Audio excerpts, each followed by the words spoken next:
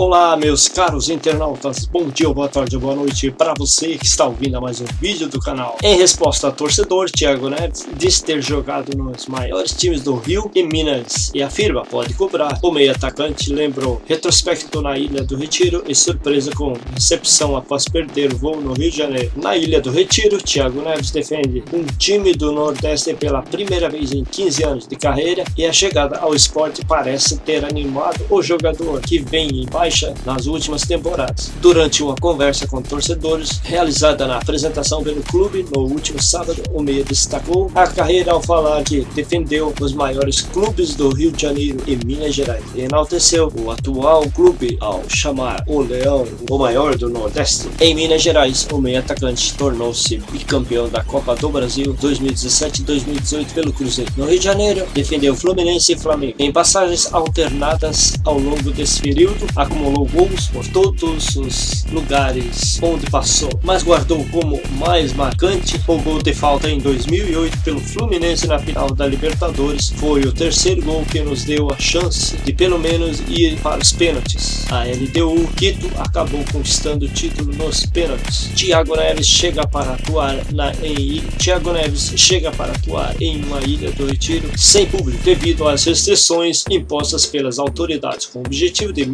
o contágio pela Covid-19, mas ele quer chegar ao ponto de poder encontrar a torcida nas arquibancadas, principalmente porque dessa vez estará em campo ao lado favorável. Acho que eu nunca ganhei do esporte aqui, só perdi para esquecer. Cheguei em um momento de estádio vazio, mas estou bem ansioso para pegar também a ilha cheia. Essa é a minha vontade. Se por um lado não há previsão para a retomada de público nos estádios, em Pernambuco, o meio atacante teve o primeiro contato com os torcedores ainda no aeroporto na quinta-feira, após desembarque, precisou desviar da aglomeração para deixar o local. A recepção eu não esperava, porque perdi o voo na manhã no Rio de Janeiro, aí peguei um voo à noite, então não esperava ser recebido dessa forma. Todo mundo nas redes me dando apoio e incentivo, isso me deixou mais em casa ainda, então acho que tenho tudo para arrebentar. É isso aí, boa sorte ao Thiago Neves, novo clube, o primeiro que ele defende do Nordeste. Deixe o seu like, até o próximo vídeo.